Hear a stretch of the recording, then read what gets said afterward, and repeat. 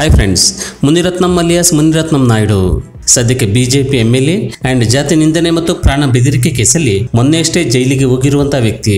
ಆದ್ರೆ ಈತ ಯಾರು, ಏನು, ಎತ್ತ ಅಂತ ನೋಡ್ತಾ ಹೋದ್ರೆ ಬೆಂಗಳೂರು ಅಂಡರ್ ವರ್ಲ್ಡ್ ಆಂಧ್ರದಿಂದ ಬಂದಂತ ನಾಯ್ಡು ತೀರಾ ಬಡತನದ ಫ್ಯಾಮಿಲಿಯಿಂದ ಕಾರ್ಪೊರೇಟರ್ ಎಂ ಎಲ್ ಎ ಆಗಿ ಈಗ ನೂರಾರು ಸಾವಿರಾರು ಕೋಟಿಗಳಿಗೆ ಬಾಳ್ತಾರೆ ಅನ್ನುವಂತಹ ಮಾತುಗಳಿವೆ. ಸೊ ಹಾಗಾದ್ರೆ ಈ ಮುನಿರತ್ನಂ ಯಾರು, ಆತನ ಇತಿಹಾಸ ಎಂಥದ್ದು ಅನ್ನೋದನ್ನ ನೋಡ್ತಾ ಬರೋಣ.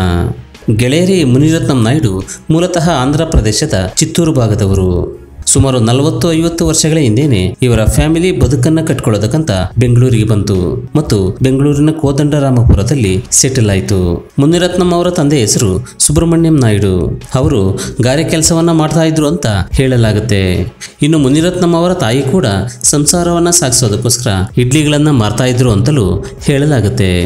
ಮುನಿರತ್ನಂ ಸಾವಿರದ ಒಂಬೈನೂರ ಅರವತ್ನಾಲ್ಕರಲ್ಲಿ ಆಂಧ್ರಪ್ರದೇಶದ ಚಿತ್ತೂರಿನಲ್ಲಿ ಹುಡ್ತಾರೆ ಈಗ ಅವರಿಗೆ ಅರವತ್ತು ವರ್ಷಗಳು. ಹಾಗೆಯೇ ಮುನಿರತ್ನಂ ಅವರ ಎಜುಕೇಶನ್ ವಿಷಯಕ್ಕೆ ಬರೋದಾದ್ರೆ ಮುನಿರತ್ನಂ ಓದಿರೋದು ಎಂಟನೇ ಕ್ಲಾಸು. ಆದರೆ ನಂತರ ಅವರು ಎಜುಕೇಶನ್ ಅನ್ನ ಮುಂದುವರಿಸಲಾಗಲಿಲ್ಲ. ಯಾಕಂದ್ರೆ ಮುನಿರತ್ನಂ ಹನ್ನೆರಡು ಹದಿಮೂರು ವರ್ಷದವರಿದ್ದಾಗ ಅವರ ತಂದೆ ಸುಬ್ರಹ್ಮಣ್ಯಂ ನಾಯ್ಡು ತೀರಿ ಹೋಗ್ತಾರೆ. ಹೀಗಾಗಿ ಮುನಿರತ್ನಂ ಕೋದಂಡರಾಮಪುರದ ಸ್ಕೂಲಿಗೆ ಗುಡ್ ಬೈ ಹೇಳ್ತಾರೆ.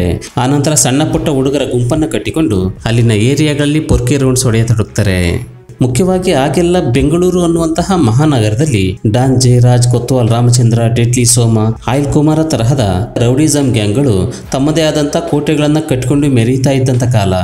ಹಾಗೆಯೇ ರಾಜಕಾರಣಿಗಳು ಕೂಡ ರೌಡಿ ಪಡೆಗಳ ಸಹಾಯಗಳನ್ನು ಪಡ್ಕೊಂಡು ಎಲೆಕ್ಷನ್ ಅನ್ನ ಗೆಲ್ತಾ ಇದ್ರು.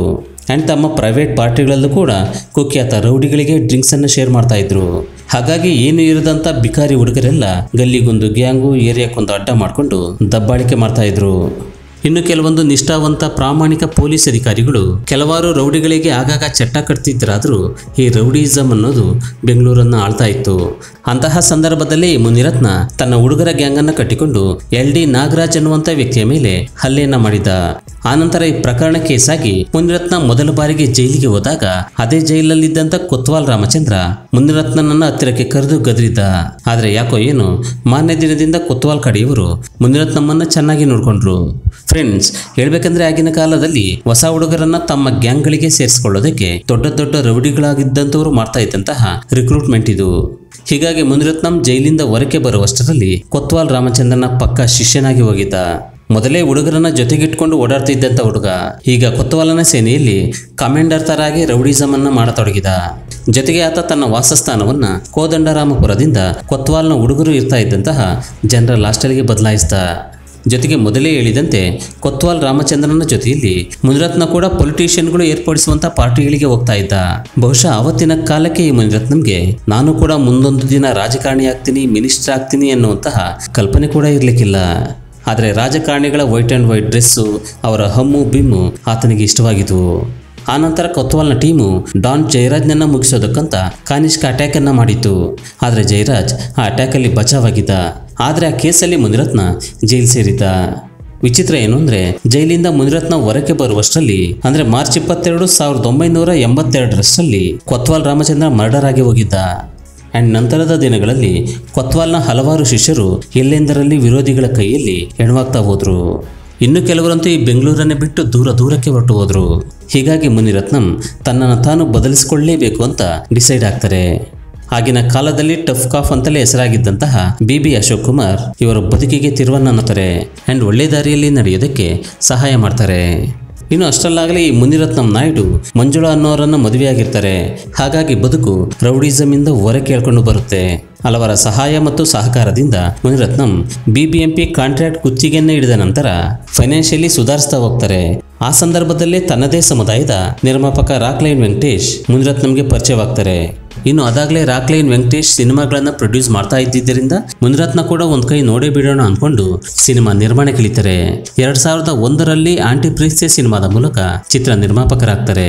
ರಕ್ತ ಕಣ್ಣೀರು, ಅನಾಥರು, ಕಟಾರಿ ವೀರ ಸುರಸುಂದರಾಂಗಿ, ಮುನಿರತ್ನ ಕುರುಕ್ಷೇತ್ರ ಹೆಸರಿನ ಒಂದಷ್ಟು ಬಿಗ್ ಬಜೆಟ್ ಸಿನಿಮಾಗಳನ್ನ ಮಾಡಿದ್ದಾರೆ.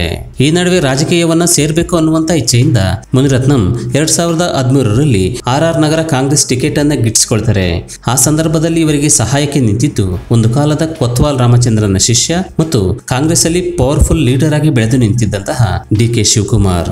ಹೀಗಾಗಿ ಮುನಿರತ್ನಂ ರಾಜರಾಜೇಶ್ವರಿ ನಗರ ಕ್ಷೇತ್ರವನ್ನ ಸುಲಭವಾಗಿ ಗೆಲ್ತಾರೆ. ಎರಡ್ ಸಾವಿರದ ಹದಿಮೂರು, ಹದಿನೆಂಟು, ಎರಡ್ ಸಾವಿರದ ಇಪ್ಪತ್ತು ಮತ್ತು ಇಪ್ಪತ್ನಾಲ್ಕರಲ್ಲಿ ಆರ್ ಆರ್ ನಗರದ ಎಂಎಲ್ಎ ಆಗಿ ಮುಂದುವರಿತಾ ಇದ್ದಾರೆ. ಆದ್ರೆ ಇಲ್ಲಿ ಟ್ವಿಸ್ಟ್ ಏನು ಅಂದ್ರೆ ಮೊದಲಿಗೆ ಕಾಂಗ್ರೆಸ್ ಅನ್ನ ಸೇರಿ ಶಾಸಕನಾಗಿದ್ದಂತಹ ಮುನಿರತ್ನಂ ಆಪರೇಷನ್ ಕಮಲದ ಭಾಗವಾಗಿ ಬಿಜೆಪಿಯನ್ನ ಸೇರ್ತಾರೆ ಮತ್ತು ಬಿಜೆಪಿ ಸರ್ಕಾರದಲ್ಲಿ ಕ್ಯಾಬಿನೆಟ್ ದರ್ಜೆಯ ಸಚಿವ ಅಂದ್ರೆ ತೋಟಗಾರಿಕಾ ಸಚಿವರಾಗಿ ಕೆಲಸವನ್ನ ಮಾಡ್ತಾರೆ. ಸದ್ಯ ಈಗ ಅವರು ಬಿಜೆಪಿ ಪಕ್ಷದ M L A friends Munirathnam ಅವರು ಕಳೆದ ಚುನಾವಣೆಯ ಅಫಿಡವಿಟ್ನಲ್ಲಿ ಘೋಷಿಸಿಕೊಂಡಿರುವಂತಹ ಆಸ್ತಿಯ ಮೊತ್ತ ಇನ್ನೂರ ತೊಂಬತ್ಮೂರು ಕೋಟಿ ರೂಪಾಯಿಗಳು. ವ್ಯಾಪಾರ, ಆಸ್ತಿಗಳಿಂದ ಬರುವಂಥ ಬಾಡಿಗೆ ಆ್ಯಂಡ್ ಕೃಷಿಯಿಂದ ಬರುವಂಥ ಸಂಪಾದನೆಯಲ್ಲಿ ಇವರು ಇನ್ನೂರ ತೊಂಬತ್ಮೂರು ಕೋಟಿಗಳನ್ನು ಸಂಪಾದಿಸಿದ್ದಾರೆ ಅಂತ ಹೇಳಲಾಗ್ತಿದೆ. ಆದರೆ ಎರಡು ಸಾವಿರದ ಹದಿಮೂರರಲ್ಲಿ ಅವರು ಎಲೆಕ್ಷನ್ಗೆ ನಿಂತಾಗ ಅವರು ಘೋಷಿಸಿಕೊಂಡಿದ್ದಂಥ ಆಸ್ತಿಯ ಮೊತ್ತ ಕೇವಲ ಇಪ್ಪತ್ತೆಂಟು ಕೋಟಿ ರೂಪಾಯಿಗಳು. ಆದರೆ ಈಗ ಅವರು ಅಧಿಕೃತವಾಗಿ ಅಫಿಡವಿಟ್ ಸಲ್ಲಿಸಿರುವ ಪ್ರಕಾರ ಇನ್ನೂರ ತೊಂಬತ್ಮೂರು ಕೋಟಿಗಳಷ್ಟು ಆಸ್ತಿಯನ್ನ ಮಾಡಿದ್ದಾರೆ.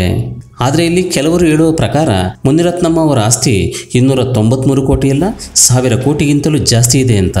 ಅವರು ದೇವನಹಳ್ಳಿ, ದೊಡ್ಡಬಳ್ಳಾಪುರ, ಆರ್ ಆರ್ ನಗರ ಸೇರಿದಂತೆ ಹಲವಾರು ಕಡೆಗಳಲ್ಲಿ ಆಸ್ತಿಯನ್ನು ಮಾಡಿದ್ದಾರೆ ಅಂತ ಹೇಳಲಾಗ್ತಾ ಇದೆ. ಇನ್ನು ಇವರ ಫ್ಯಾಮಿಲಿ ವಿಷಯಕ್ಕೆ ಬರೋದಾದರೆ ಇವರಿಗೆ ಇಬ್ಬರು ಹೆಣ್ಣು ಮಕ್ಕಳಿದ್ದಾರೆ ದೊಡ್ಡ ಮಗಳು ಸಿಂಧೂರಿಯನ್ನು ತನ್ನದೇ ಜಾತಿಯ ಸ್ನೇಹಿತ, ರಾಕ್ಲೈನ್ ವೆಂಕಟೇಶ್ ಅವರ ಮಗ ಯತೀಶ್ಗೆ ಕೊಟ್ಟು ಮದುವೆಯನ್ನು ಮಾಡಿದ್ದಾರೆ. ಇನ್ನೊಬ್ಬ ಮಗಳು ಭಾರತಿಯನ್ನ ಆಂಧ್ರ ಪ್ರದೇಶ ಮೂಲದ ಐಪಿಎಸ್ ಅಧಿಕಾರಿ ರಿಶ್ವಂತ್ ಅನ್ನುವವರಿಗೆ ಮದುವೆಯನ್ನ ಮಾಡಿಕೊಟ್ಟಿದ್ದಾರೆ. ಸೊ ಫೈನಲಿ ಮುನಿರತ್ನಂ ಅವರು ಹಲವು ಕಾಂಟ್ರವರ್ಸಿಗಳಲ್ಲಿ ಈ ಹಿಂದೆ ಕೂಡ ಸಿಕ್ಬಿದ್ದಿದ್ದಾರೆ. ಎರಡ್ ಸಾವಿರದ ಹದಿನಾಲ್ಕರಲ್ಲಿ ಅವರ ಮನೆ ಮೇಲೆ ರೇಡ್ ಆದಾಗ ಬಿಬಿಎಂಪಿಗೆ ಸೇರಿದಂತ ಏಳ್ನೂರು ಫೈಲುಗಳು ಅವರ ಹೆಂಡತಿ ಹೆಸರಿನಲ್ಲಿರುವಂಥ ಮನೆಯಲ್ಲಿ ಸಿಕ್ಕಿದ್ವು. ಆದರೆ ಮುನಿರತ್ನಂ ಏನೇನೋ ಮಾಡಿ ಆ ಕೇಸಿಂದ ಬಚಾವಾಗಿದ್ರು. ಆದರೆ ಈಗ ಬಿಬಿಎಂಪಿ ಕಾಂಟ್ರಾಕ್ಟರ್ಗೆ ಜೀವ ಬೆದರಿಕೆ ಹಾಕಿದ್ದಾರೆ, ಜಾತಿ ನಿಂದನೆ ಮಾಡಿದ್ದಾರೆ ಅನ್ನುವಂಥ ಆರೋಪದಿಂದ ಅರೆಸ್ಟ್ ಆಗಿದ್ದಾರೆ. ಒಂದು ವೇಳೆ ಈಗ ವೈರಲ್ ಆಗಿರುವಂಥ ಆಡಿಯೋದಲ್ಲಿ ಮಾತಾಡಿರೋದು ಮುನಿರತ್ನಂ ಆಗಿರದೇ ಇದ್ದರೆ ಅವರ ರಾಜಕೀಯ ಭವಿಷ್ಯ ಇನ್ನೂ ಒಂದಷ್ಟು ಕಾಲ ಮುಂದುವರಿಯುತ್ತೆ. ಒಂದು ವೇಳೆ ಆ ಆಡಿಯೋದಲ್ಲಿರೋದು ಮುನಿರತ್ನಂ ಅವರ ವಾಯ್ಸ್ ಅಂತ ರುಜುವಾತಾದ್ರೆ ಮುನಿರತ್ನಂ ಅವರು ಆರ್ ಆರ್ ನಗರ ಕ್ಷೇತ್ರವನ್ನ ಶಾಶ್ವತವಾಗಿ ಮರೆಯಬೇಕಾಗುತ್ತೆ ಅಂತ ಹಲವಾರು ರಾಜಕೀಯ ಪಂಡಿತರು ಹೇಳ್ತಾ ಇದ್ದಾರೆ. ಯಾಕಂದ್ರೆ ಆರ್ ಆರ್ ನಗರ ಕ್ಷೇತ್ರದಲ್ಲಿ ಒಕ್ಕಲಿಗರು ಮತ್ತು ತಮಿಳು ಮೂಲದ ದಲಿತರು ಸಾಕಷ್ಟು ಸಂಖ್ಯೆಯಲ್ಲಿದ್ದಾರೆ. ಮತ್ತು ಚುನಾವಣೆಯಲ್ಲಿ ಅಭ್ಯರ್ಥಿಗಳ ಗೆಲುವನ್ನು ನಿರ್ಧರಿಸುವಂತಹ ಸಮುದಾಯಗಳು ಕೂಡ ಅವೇ ಆಗಿವೆ. ಆದರೆ ಈ ಪೊಲಿಟಿಕ್ಸ್ ಅನ್ನುವಂಥ ಮಂಗಾಟದಲ್ಲಿ ಯಾವಾಗ ಏನೇನಾಗುತ್ತೋ ಯಾರಿಗೂ ಗೊತ್ತಾಗೋದಿಲ್ಲ. ನಮಸ್ಕಾರ.